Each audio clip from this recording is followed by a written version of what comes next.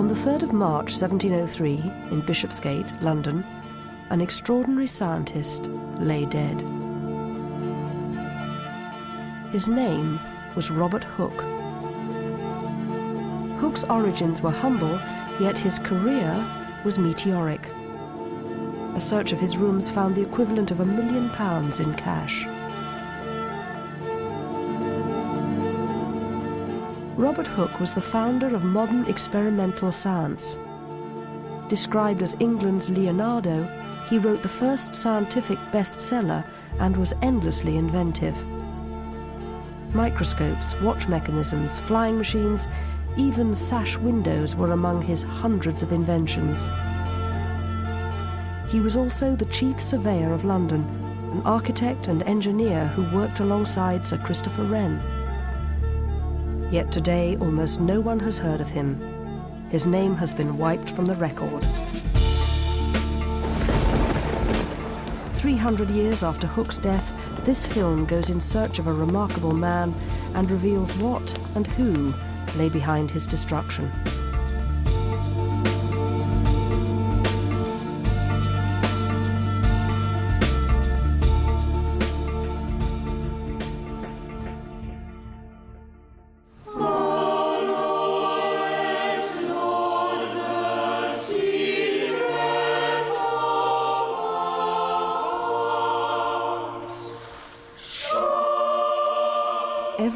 Scientist of the day attended Robert Hooke's funeral except one. Sir Isaac Newton stayed away. It's now clear that these two men had been locked in a bitter rivalry. After Hooke's death, his instruments were broken up and his library sold off. It was also said that Newton ordered the only portrait of Hooke to be destroyed.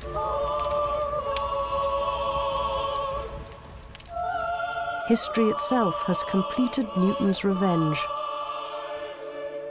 Even Hooke's body has been lost. More than a century ago, thousands of corpses were brought from the city to a desolate overspill cemetery.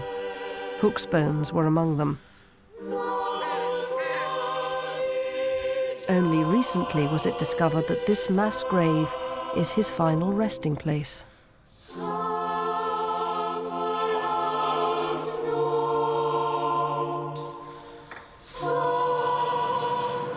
The last known image of Robert Hooke was at St Helens in Bishopsgate, where he was originally buried. For Alan Chapman, who's had a lifelong fascination with Hooke, it's a good place to begin an investigation. Yet even here, it seems history is still conspiring against Hooke.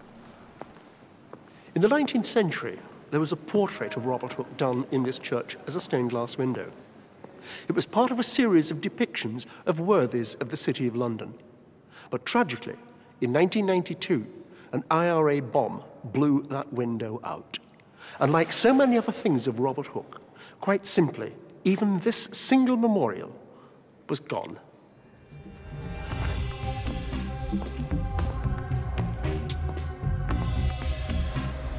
It had long been thought that all Hooke's personal possessions were lost. Then an extraordinary document was discovered by the City of London Robert Hooke's private diary. It's the only known journal of a 17th century scientist, a vivid insight into Hooke's personality and his restless brilliance. Hooke subjects his life to scientific observation, his social activities and curious sex life, his bizarre health remedies, and drug taking.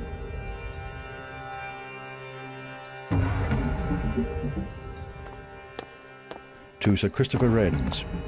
I showed that Mr. Newton had taken my hypothesis of the pulse or wave. Sir Christopher explained his way thus. Showed experiment of microscope. Mended skeleton of crocodile. To St. Martin's for geese grease, exceeding good for the piles. At home writing account of weather clock, preparing experiment for the society. Pissed as clear as rock water.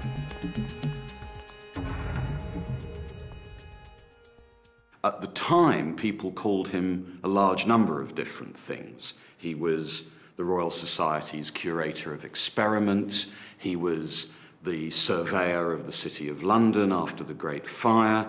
He was a lecturer, he was a professor, he was the greatest mechanic of the age, according to one of his friends.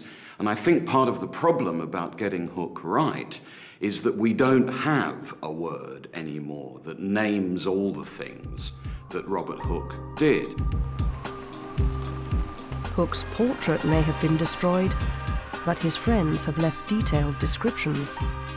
He is but of middling stature, his head is large, his eye full and not quick. He has a delicate head of hair, brown, and of an excellent moist curl. FBI trained forensic artist Melissa Dring is reconstructing his face. It's not just important to try and stick faithfully to the description of hooked noses and popping eyes or whatever, but to uh, try and imbue the person with some sort of believable character and personality, because that's what makes the person tick.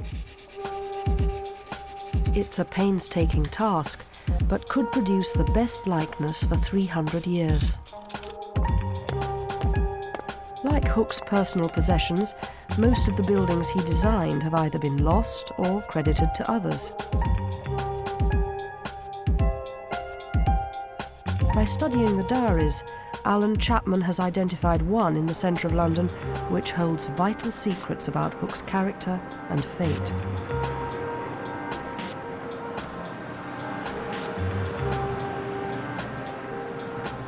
5th April 1676. Pillar at Fish Street Hill. At the top of it saw balcony. Directed about setting the urn.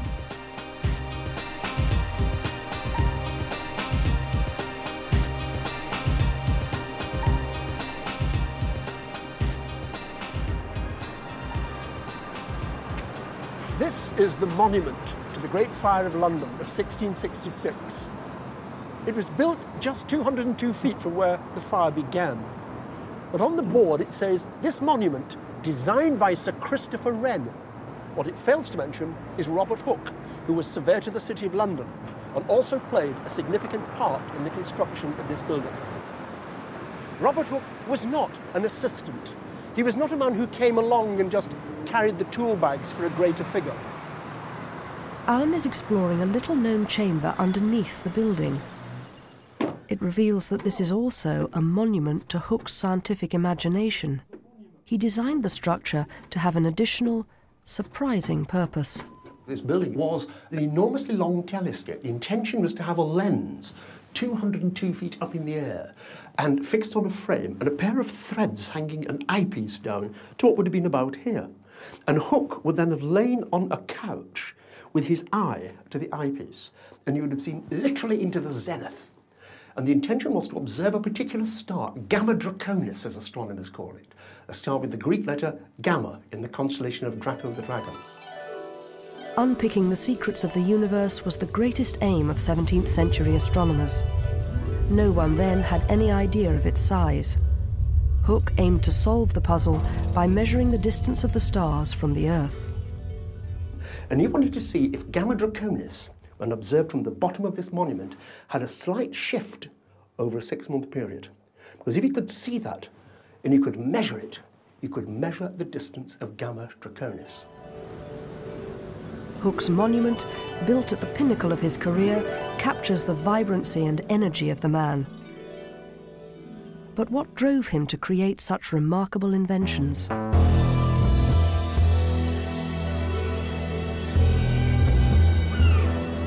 Vital clues could lie here at Hooke's birthplace on the Isle of Wight, an island besieged by the elements.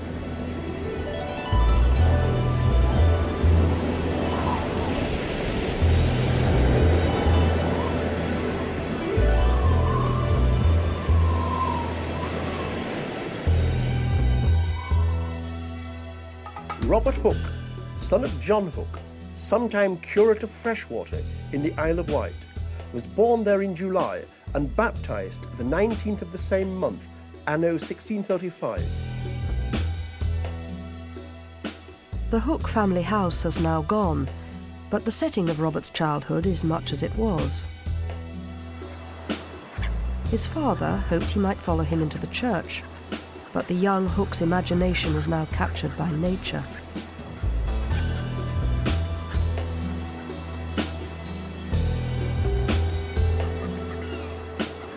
Around him, he sees the rolling of the sea and the spectacular dappled light.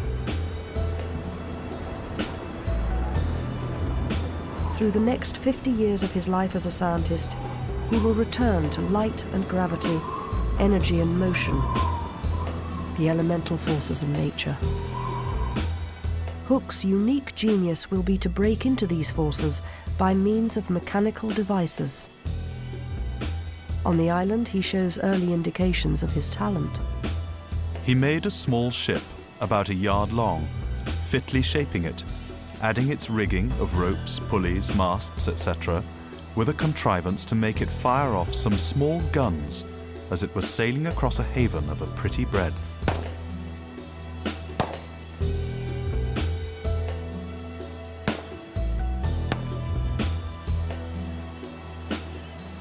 And being from his childhood ingeniously given, ingeniously given, the hallmark of Robert Hooke.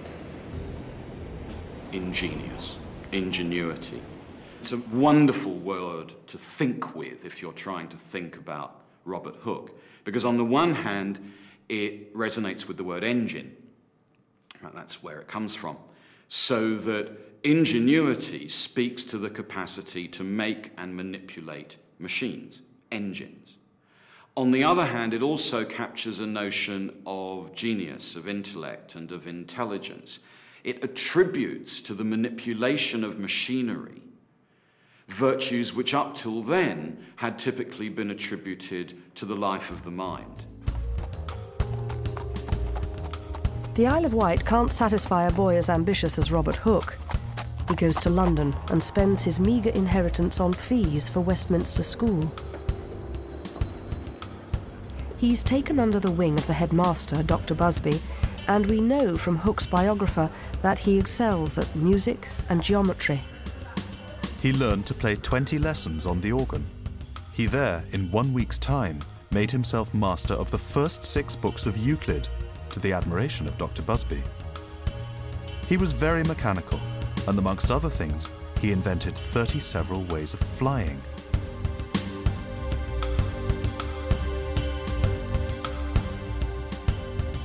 But Hooke wasn't a typical Westminster boy. Young gentlemen didn't usually spend their time inventing things. His poverty also marked him out, and when he continued his studies at Oxford, he had to work as a servant for wealthier students. Hooke's shortage of funds dogged him for years. To make ends meet, he earned money singing in the cathedral choir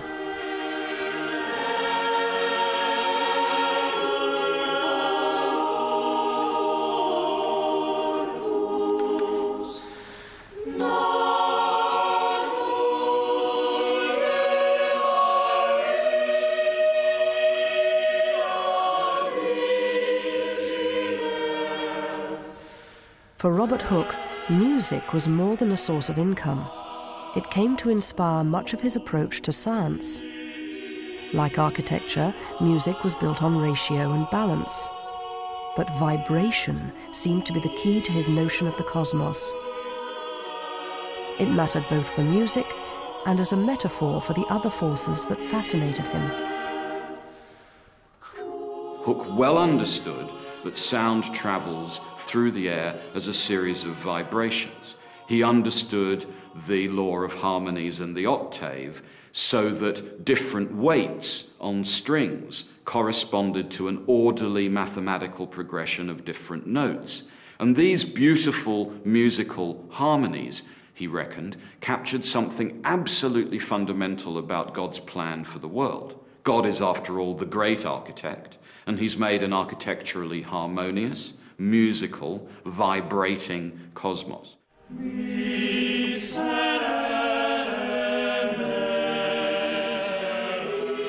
Hooke's passion is to understand the basic forces of nature.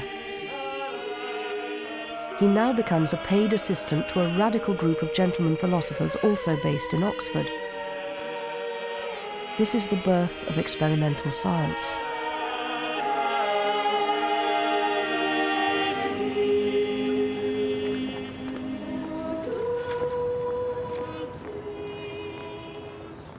This is where the Oxford Philosophical Club met, of which Robert Hooke was a member.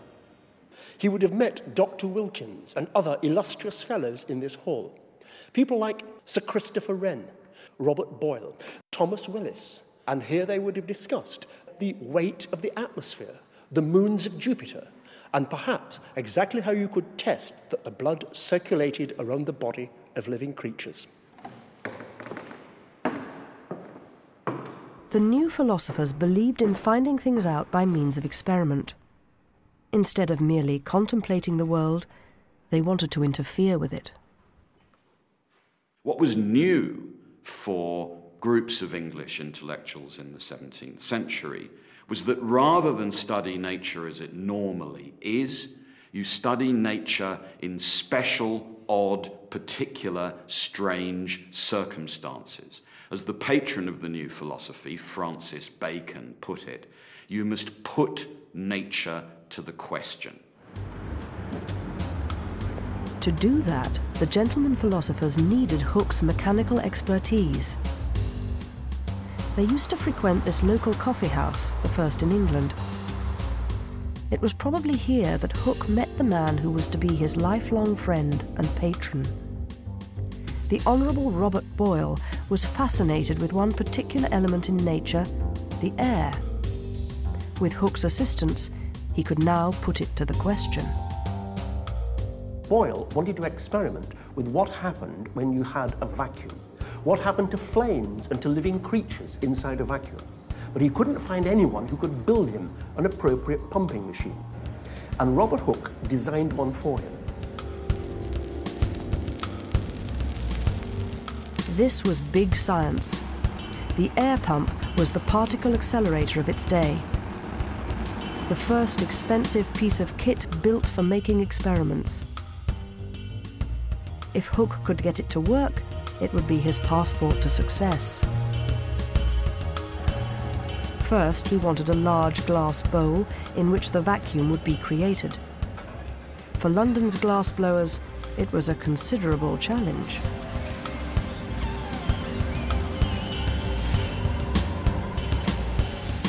He needed a smooth cylinder with a piston to suck out the air.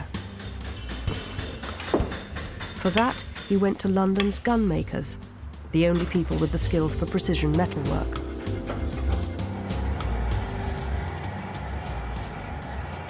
He also needed joiners to build the frame and clockmakers to cut the gears that operated the pump.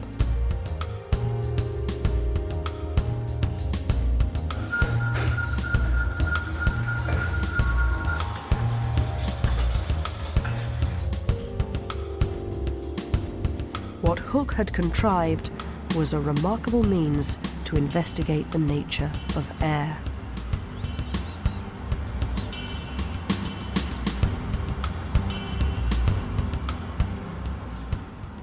Rather, a good way of finding out what's special about the air is to produce a space in which there isn't any. And this is surely one of the great strengths of the experimental project of the time. If you want to know what's special about something, get rid of it and see what happens.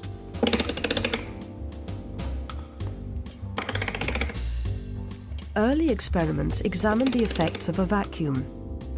A flattened sheep's bladder was put inside and the surrounding air sucked out.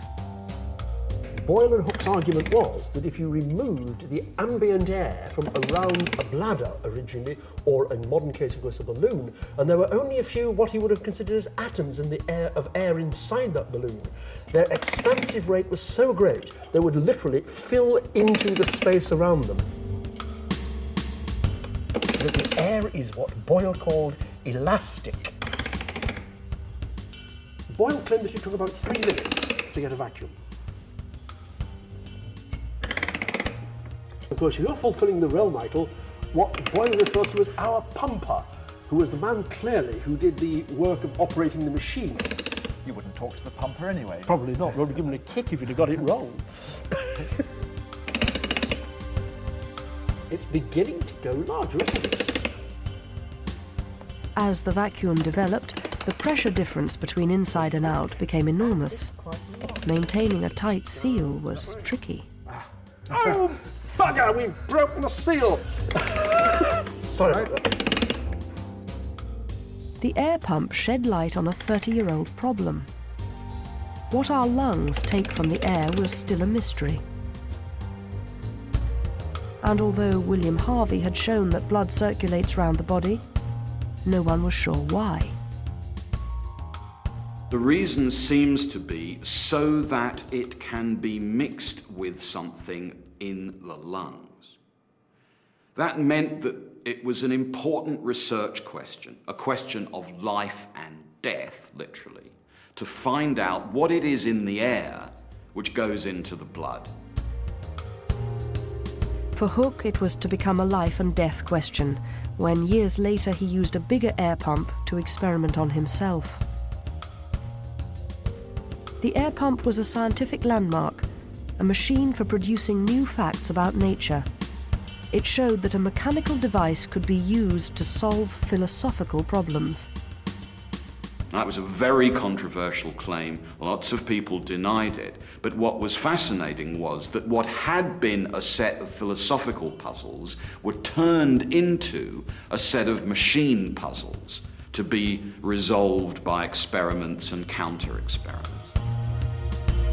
At Boyle's laboratory in Oxford, Robert Hooke's work with the air pump launched a career that would shape modern science. This plaque commemorates his achievement.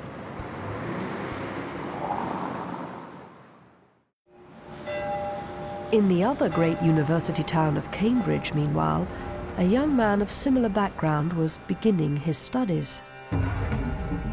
Isaac Newton also shared many of Hooke's interests and personal characteristics. But unlike Hooke, he was a mathematician of genius. It would be a fateful distinction. Charles II had just been restored to the throne following the collapse of Cromwell's regime. This political convulsion would indirectly benefit Robert Hooke. The Oxford gentlemen were attracted back to London, where they set themselves up as the Royal Society to promote the new science. They'd hoped for money from King Charles, but had to settle for a royal charter.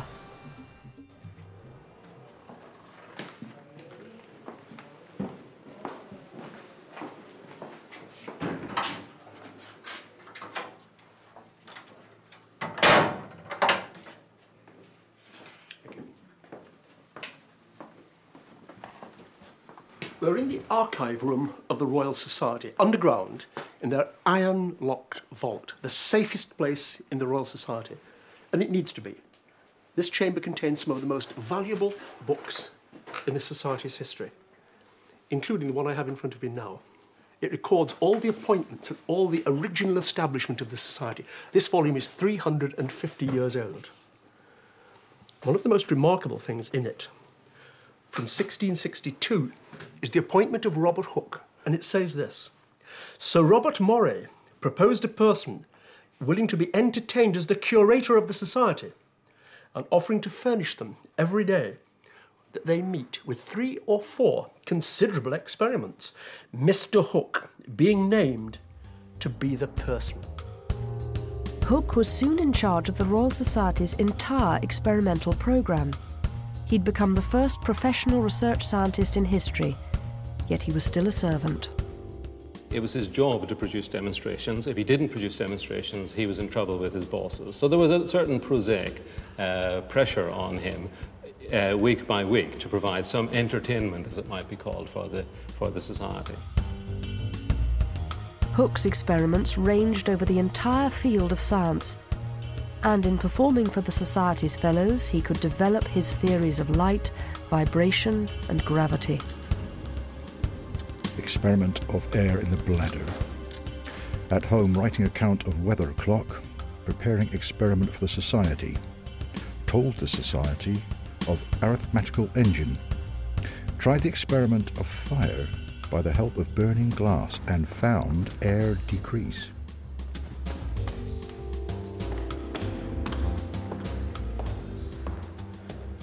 I understand that beneath this cover is the very table on which British science was established. On this table, Hooke would have demonstrated his microscope, probably his physiological examinations, certainly his early work on springs and watches, and around it would have been set all the fellows. And this was the table on which it all began. Hooke's demonstrations were, went beyond the, the, the occasion of the, of the meeting. They had an explanatory content. He felt that it's only through uh, manipulation of instruments and, and, and apparatus and models and making demonstrations with them that we would come to understand the natural world more, more fully. Because he felt that the, he believed that the natural world was a great machine and his natural philosophy therefore was mechanical as well. Now, central to this idea of the universe as a mechanism is vibration. Whether it's the nature of light, or sound, or gravitation, or magnetism, or anything, he sees the great primal forces of nature as all caused by shocks passing through the medium. And this, I think, is the one great centralizing thing in Hooke's thought. Bishopsgate in the City of London. The Royal Society's first home was on the space now occupied by this office tower. The Society told Hooke to move in so that he could prepare his experiments on site. For the rest of his life, he lived in an apartment in one corner of the courtyard. It became a hotbed of discovery and invention. He would get up in the morning, normally rather early, normally after a really bad sleep. He was always ill or moaning or both, and work all morning on schemes, projects, models, calculations, write his lectures, prepare experiments for the Royal Society. Hooke's diary shows how he experiments on everything, including himself. He's working so hard he gets ill, so doses himself relentlessly with quack remedies and drugs. I took spirit of urine and laudanum with milk for the three preceding nights. The diary reveals that Hooke's female servants are often his sexual partners. Played with Nell. Hurt small of back. He records his orgasms using the symbol for Pisces. Even then, he can't sleep. As a chronic insomniac, Hooke's often up late, peering at the heavens through a telescope in his attic. Went not to bed observed strange inequality in the reflective properties of the moon. Astronomy was the heart of the new science. Hooke believed that better lenses could reveal the secrets of the cosmos, and he experimented ceaselessly with ways of making a shorter telescope. It's just a mirror concave in the middle and a mirror acting like a lens. So it's working by a focused reflection on the basis of the reflecting telescope. And Hooke spent about five years trying to develop this technology. It's so beautiful and so simple. Hooke wanted to explore the minutiae of life, and using his revolutionary microscope began to open up the structure of the world about him. Telescopes, microscopes, and air pumps are the basic tools of experimental science, and Hooke either invented or improved them all. By enhancing our perception, these devices could crack open nature. The young Hooke spent a decade opening up the secrets of the world. It culminated in his great book Micrographia, published in 1665. Nobody had ever seen anything like these images.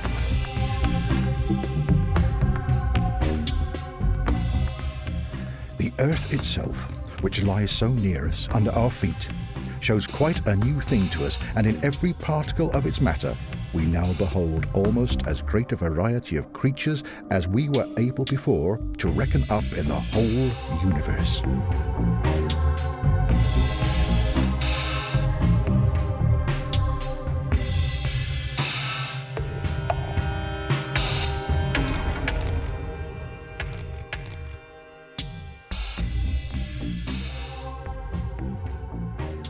This was a media event. It's probably the greatest manifesto of the 1660s.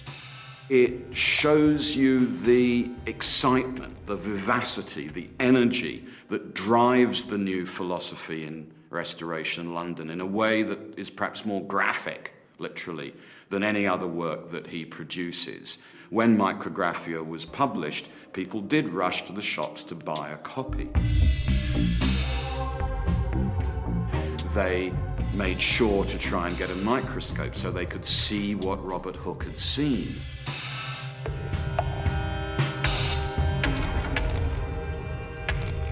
He'd seen man made objects such as the tip of a needle or the edge of a razor blade. He compared their magnified imperfections with the beauty he found in nature, even in the mould growing on a leather book cover. Hooke's masterpiece now brought him to the attention of an unknown young Cambridge graduate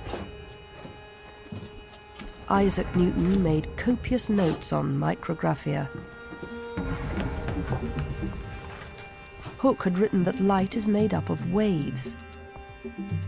In reaction, Newton set to work on his own theory that it's made up of particles.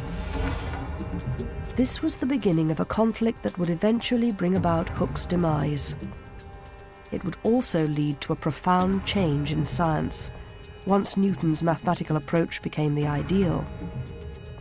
But the two men's paths wouldn't cross for another seven years. While Newton could concentrate in the solitude of his study, Hooke was handicapped by his employer's endless demands.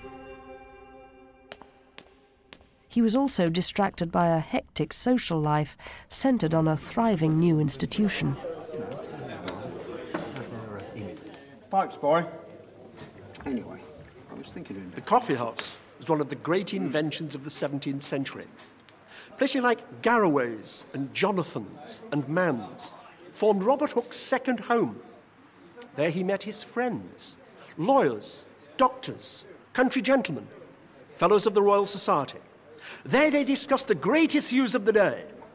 And it's in Robert Hooke's diary, which records in coffee houses, first showing his spring balance for watches, describing his work on telescopes, experiments in medicine, and a whole myriad of new scientific discoveries in this wonderful new, free and easy social milieu. Anybody could go to a coffee house, provided they were male. For the first time, there was a place where Hooke could meet his instrument makers and craftsmen, as well as more genteel friends and clients. Coffee houses are relatively egalitarian, new inst institutions, the cybercafes of the scientific revolution. Robert Hooke, hypochondriac, got rather interested in whether coffee, which was pricey, or chocolate, which was very pricey, were better for the various things that were ailing him. And in his diary, he, he records not merely which coffee houses he went to, but exactly how he felt after drinking there. Garraway's home.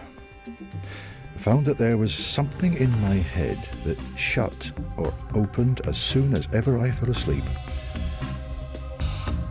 Dreamt several things that came to pass the day following. One of the most arresting images in micrographia was the flea, the very organism which that year would bring plague to London and within months most of the city would be destroyed in the Great Fire.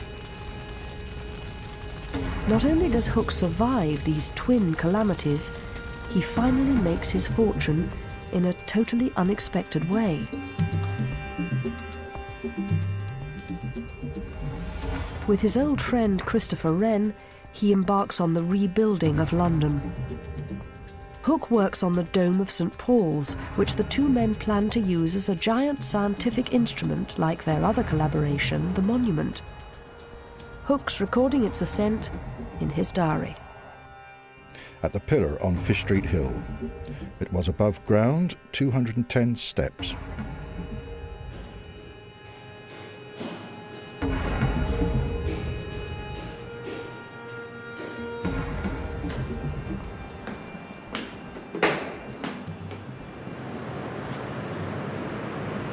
This is absolutely superb.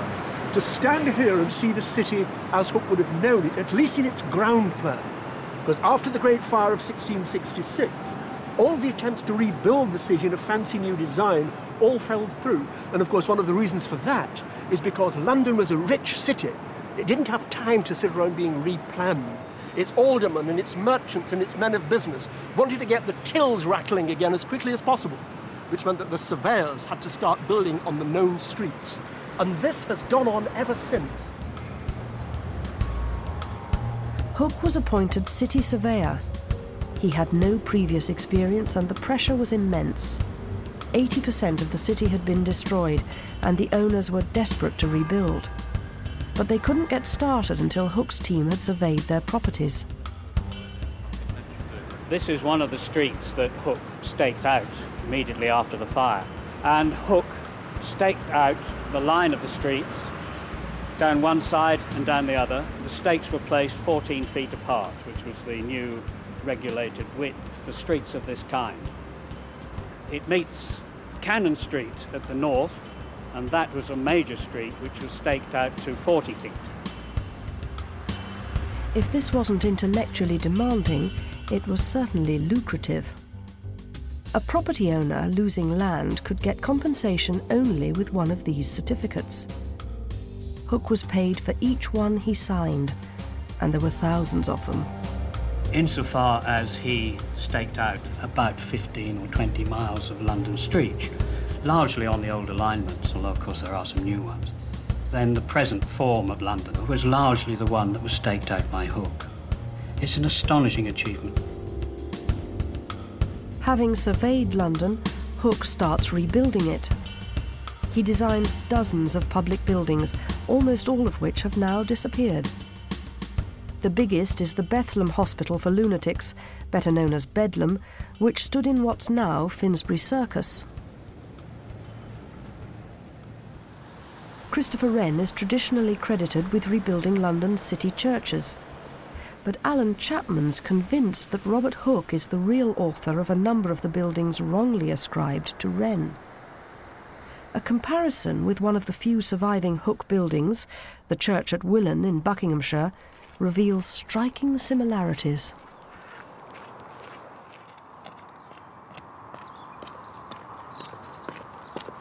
What does Willen Parish Church tell us about Robert Hooke? Well, for one thing, it gives us some insight into the buildings he may have made in London. He'd absorbed the major elements of the prevailing and fashionable Dutch style, the wonderful use of red brick, faced with limestone. But also he was a master of the decorative style of antiquity.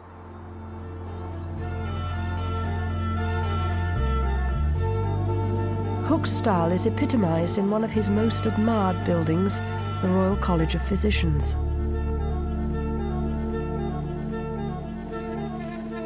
This is how it would have looked in the late 17th century.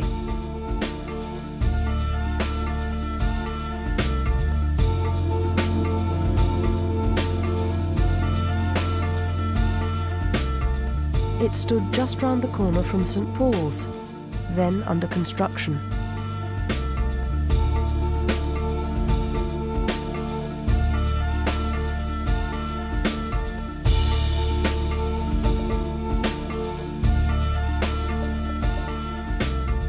Tragically, Hooke's creation burnt down during the 19th century.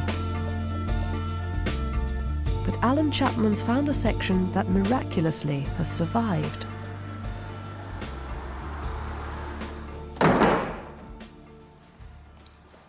This is the panelled room at the Royal College of Physicians. It's now in Regent's Park. It's magnificent panelling, it's fluted pilasters, as they're called, the decorative Corinthian motifs at the top and a chandelier still similar to the one today. Paintings to mark the leading physicians of the age. One over here of Thomas Sydenham, who would have been a contemporary of Robert Hooke's. Hooke would have known lots of spaces like this in 17th century London, both before and after the fire. His own rooms in Gresham College would have been a little bit like this grand ceremonial chambers, panelled with wood to keep them warm. This would have been the ambience to which learned men would have come and met, would have discussed, done their business, smoked their pipes, quarrelled, and practiced medicine.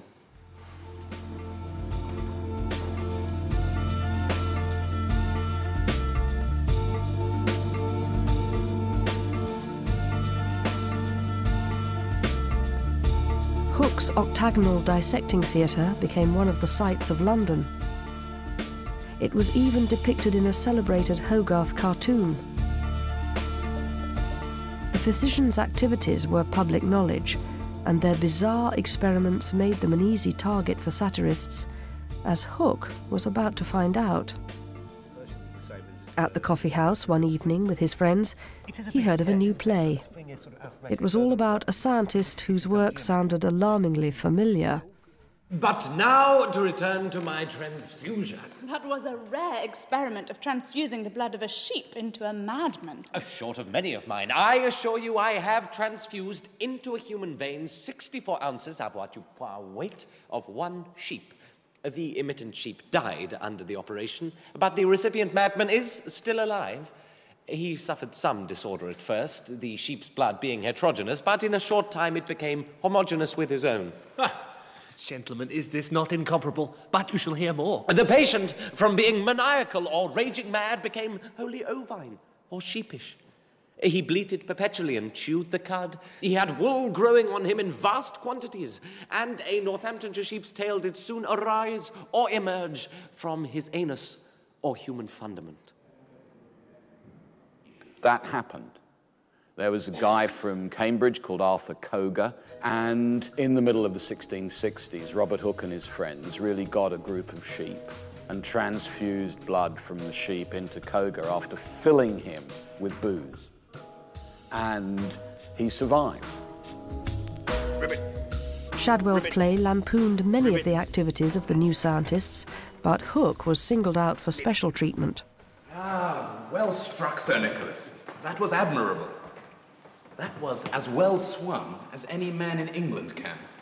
This is satire which has great actuality. Right? One is to expect the audience, at least the audience in 1676, to get all the in jokes. Right? This is Have I Got News for You, except it's about science. Have you ever tried in the water, sir? No, sir, uh, but I swim most exquisitely on land. Do you intend to practice in the water, sir? Never, sir. I hate the water. I never come upon the water, sir. That would have enraged them the most. For Hooke and his friends, that was a nauseatingly inaccurate ca- characterization of what they were doing. With Godfrey and Tompion at play. Damn dogs. God help me. People almost pointed. Hooke was embarrassed, but the satire was a tribute to his celebrity. Highly regarded as a scientist, he was making money from his architecture and cutting a figure in society. He was enjoying a brief period of happiness with his young niece, Grace, who'd arrived from the Isle of Wight. 25 years Hooke's junior, she was now living as his common law wife. Hooke recorded their sex life in his usual way. Grace. Perfectly, intimately, entirely. Slept well.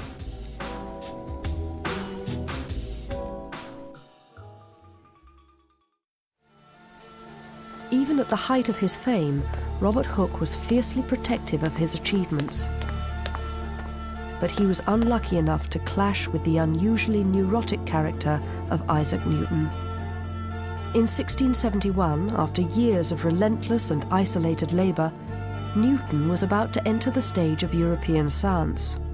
Though he was primarily a mathematician, Newton's first challenge to Robert Hooke was on his home ground, because Newton had come up with a revolutionary new reflecting telescope.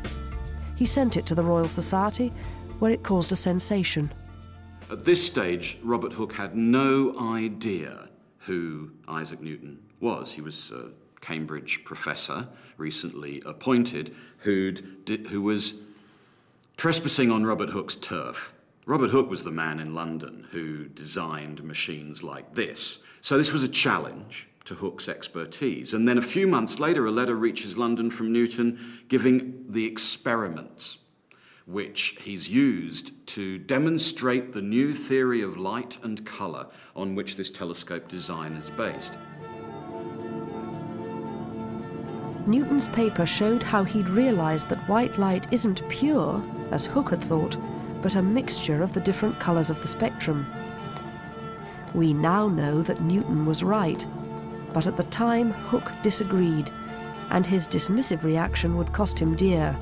It stimulated Newton to yet greater work on optics, which he refused to publish until after Hooke's death.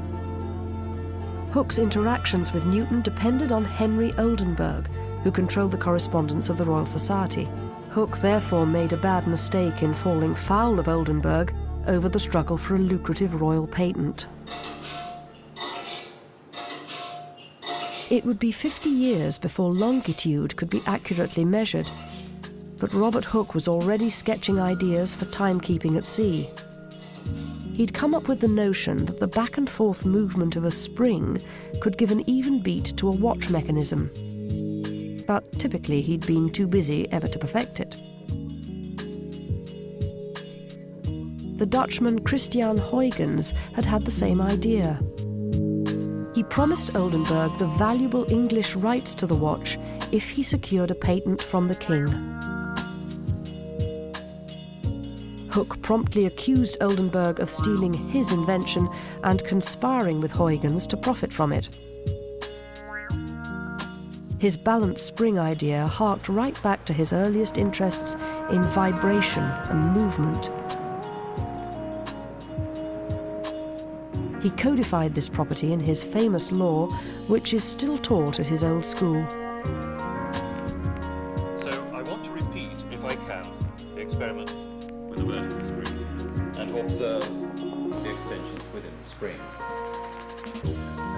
I read my theory of springs and showed the experiments to illustrate it.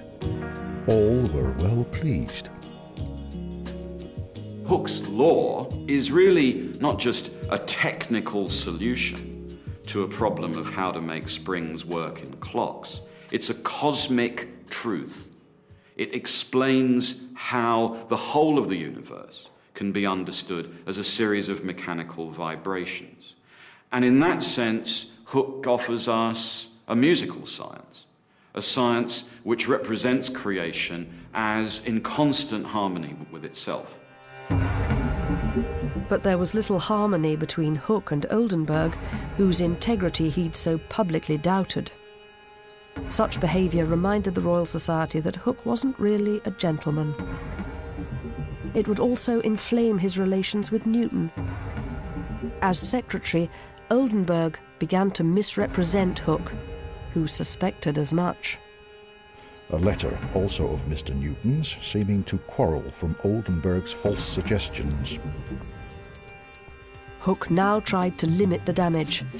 He acknowledged the younger man's contribution on light and colour.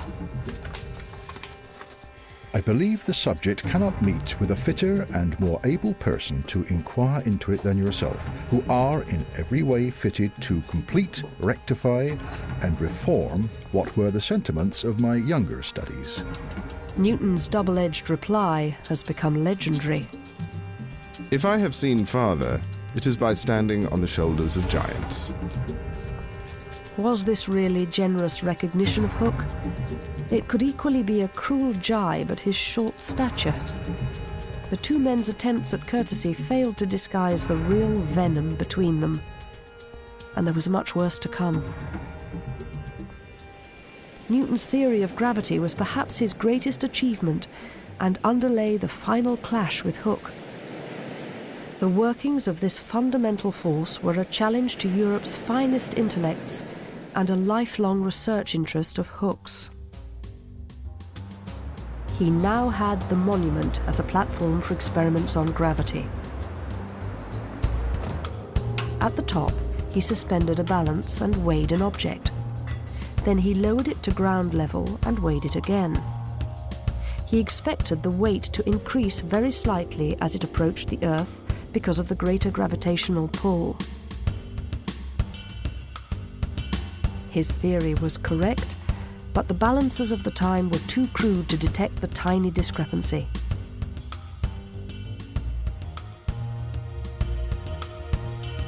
Hooke thought that the same gravitational force might also be responsible for the movement of the planets.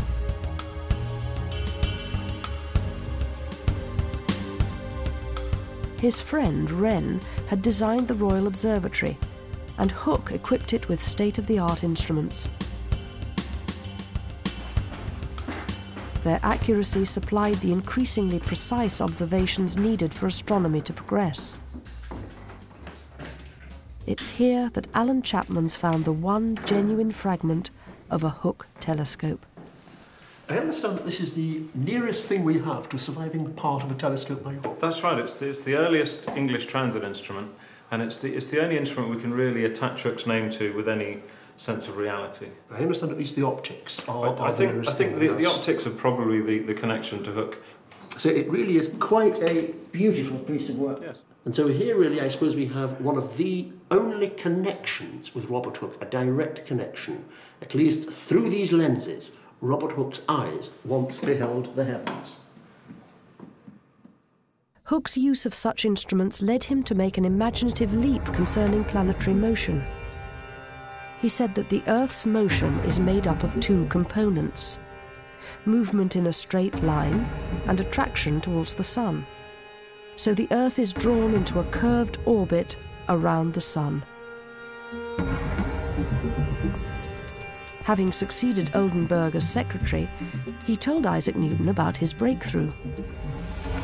I shall take it as a great favour if you will let me know your thoughts of compounding the celestial motions of the planets.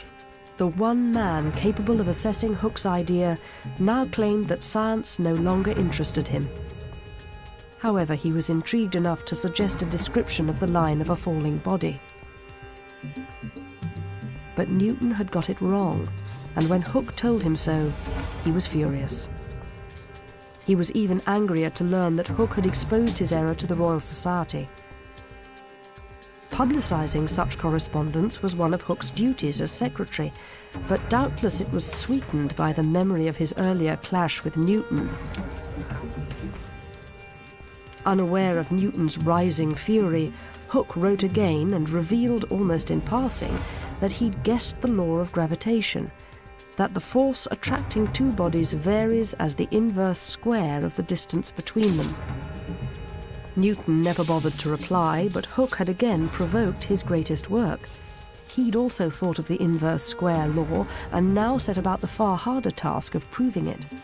For six years he toiled on his masterpiece, the Principia Mathematica, in which he showed that the solar system could be completely described using a law of universal gravity. This is unbelievable. Newton gives no mechanism for gravity, he doesn't explain what causes it, and he's designed this magnificent system, from Hooke's point of view, purely on the basis of a small group of astronomical observations and a great deal of abstract geometrical analysis. Whereas Hooke has studied the Earth, he's studied the planets, He's the master of telescopic astronomy. No one is better than him in London at that science. And he's built machines which mimic the system of the world. But Hooke had never had a reply to his suggestion of the inverse square law. Fatally, he accused Newton of plagiarism. He drew up a list of all the things in Newton's Principia which Newton borrowed from him. And when this list reached Newton, he exploded. As a mathematician, Hooke wasn't in the same league, and Newton knew it. He was enraged by the charge of plagiarism, and the Royal Society sided with him. Hooke was publicly humiliated. I think Hooke never recovered and never forgave Isaac Newton for his treatment. He becomes more morose, more withdrawn, less sociable than he had been when younger. And his relationship with almost all of the Fellows of the Royal Society, whom he began to see as ganging up on him as a Newtonian conspiracy, indeed, becomes really intolerable. So, at the personal and the research levels, the treatment by Newton as he saw it, a treatment he never forgave and never forgot, uh, really changed his life. 1687 was a terrible year for Robert Hooke. His misery was sealed when Grace died, aged only 26. In later years, weakened by numberless quack remedies, his health deteriorated sharply. Hooke's first biographer described him in old age. He was always very pale and lean, and latterly nothing but skin and bone, with a meagre aspect. His eyes grey and full, with a sharp, ingenious look.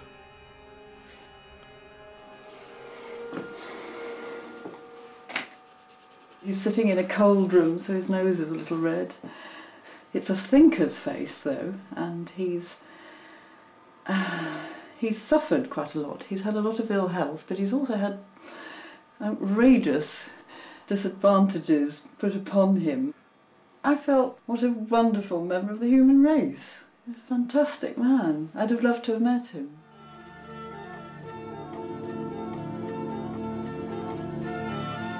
Hooke in his last year was ill, melancholy, bedridden and blind. He died on the 3rd of March 1703 and was buried with Grace at nearby St Helens. An inventory listed Hooke's possessions and library. It also showed that he'd spent little of the money he'd worked so hard to make. In his room was more than £8,000 in cash, the equivalent today of a million. It seems that Hooke had hesitated to leave it to the Royal Society, which had fallen so fully under the sway of his rival. Newton now became its president and ruled unchallenged over British science. What Newton and his allies very successfully did in the final years of Hooke's lifetime and then in the two decades after Hooke's death was to remove him from the official history of the Royal Society and from the history of cosmology and natural philosophy. Newton's victory over Hooke was far more than personal. It was the triumph of an entire view of the universe based on the unifying power of mathematics. Robert Hooke, architect, experimentalist, and inventor, was written out of the story of science. Yet today's world owes him much.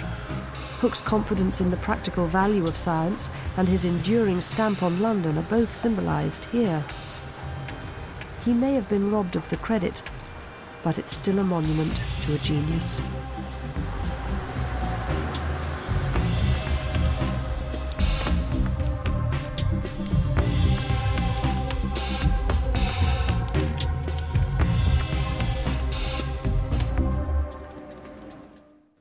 Warfare gets biological next tonight on BBC4 with tonight's movie.